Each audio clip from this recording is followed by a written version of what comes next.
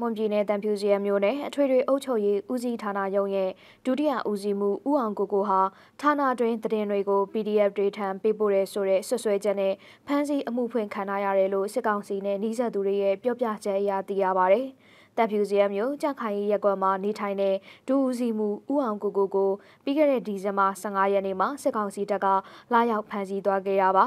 အဲဒီနောက်တပ်ဖြူစရတပ်နဲ့ဝဲကလီစစ်ကြောရေးမှာ3ရက်ကြာစစ်ဆေးပြီးနောက်ဒီဇင်ဘာ18ရက်နေ့ကတပ်ဖြူစရမျိုးမှာရဲစခန်းမှာအကြမ်းဖက်မှုတိုက်ဖျက်ရေးဥပဒေ90ညအပြင်52ကာကြီးတို့နဲ့အမှုဖွင့်ထားတာဖြစ်ပါတယ်စစ်ကောင်စီနဲ့နှီးဆက်သူတွေအစိုးအရဒူဦးစီမှုဦးအောင်ကိုကိုဟာလက်ရှိဖမ်းဆီးခံထားရတဲ့သူတွေရဲ့စစ်ဆေးချက်တွေအရဌာနအတွင်းဖျဲသီးလုပ်တယ်ဆိုတဲ့ဆွဆွဲချက်နဲ့ဖမ်းဆီးခံလိုက်ရတယ်လို့တန်လွင်တိုင်းကိုပြောပါရယ်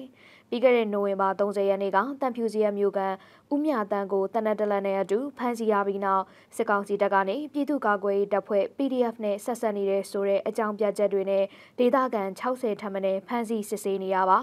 ဖမ်းဆီးခံထားရတဲ့သူတွေထဲမှာဦးမြတန်းနဲ့ဦးမင်းမင်းတို့ဟာစစ်ကောင်စီရဲ့ဝဲကလီစစ်ကြောရေးမှာတိတ်ဆုံသွားပြီလို့မိသားစုနဲ့နှီးဆက်သူတွေရဲ့ပြောကြားချက်တွေအရာသိရပါတယ်။စစ်ကောင်စီကဆွဲဆိုထားတဲ့အကြမ်းဖက်မှုတိုက်ဖျက်ရေးဥပဒေပုံမှားတွေအရာဒူးစီမှုဥအောင်ကိုကိုဟာပြစ်မှုထင်ရှားပါကအများဆုံးပြစ်ဒဏ်ထောင်ဒဏ်တသက်အထိအမိန့်ချမှတ်ခံရနိုင်ပါတယ်။တန်ဖြူစီရဲ့မျိုးကဥမြတန်ဖမ်းဆီးခံရပြီးနောက်စစ်ကောင်စီတပ်ဟာဟေမန်ဆောက်လုပ်ရေးပစ္စည်းအယောင်ပိုင်ရှင်ကိုတရုတ်ရဲ့နေအိမ်နဲ့ဆိုင်အပါအဝင်ဒေတာကန်နေအိမ်ငါးလုံးထပ်မံချိတ်ပိတ်ထားတယ်လို့မြို့ကန်တွေထံကနေသိရပါတယ်။နိုင်ငံရေးကျင်းသားများကုညီဆောင်ရှောက်ရေးအသင်း AAPP ရဲ့အချက်အလက်တွေအရအာနာသိန်းကာလအတွင်းမွန်ပြည်နယ်မှာဖမ်းဆီးခံရသူ800ကျော်အထိရှိလာတယ်လို့အစီရင်ခံစာမှာထုတ်ပြန်ထားပါတယ်။